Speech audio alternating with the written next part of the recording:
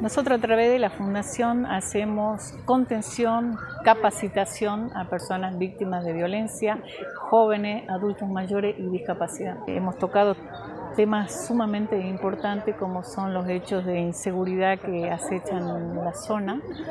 Hemos pedido que él nos, eh, nos comente cuál es el funcionamiento de la regional número 10, cámaras de seguridad para esta zona. Sabemos que esta es una, una población sumamente grande, estamos hablando yo creo que más de 350 mil habitantes, es muy grande, no alcanza el recurso personal por más eficiencia que ellos pongan. ¿no? Eh, se le planteó que, que aumente el personal policial porque eh, falta, digamos, para este sector que es muy amplia la población y también se le pidió que agregara algo móvil para el accionar más rápido también de la policía. Y hemos recibido eh, una respuesta favorable, ya que en el boletín de trabajo del presente, incluso para Salta, eh, justamente está eh, planificado eso y bueno, con la creación, él dijo, de ahora un nuevo destacamento. Las problemáticas que se van repitiendo a través de los distintos barrios de Salta, con la particularidad que acá hay una fundación que es muy trabajadora, donde tienen asesoramiento jurídico gratuito